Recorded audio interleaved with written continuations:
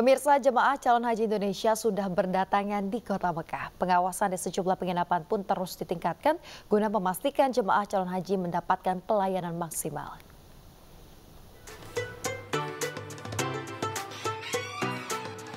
Jemaah calon haji Indonesia sudah berada di kota suci Mekah.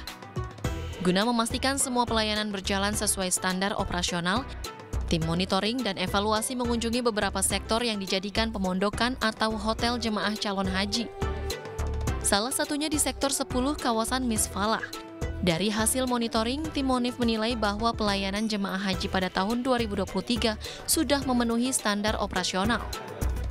Kalau dilihat sampai saat ini, alhamdulillah petugas sesuai dengan SOP-nya, petugas dengan target yang dibutuhkannya, kendala-kendala kecil sudah bisa ditangani.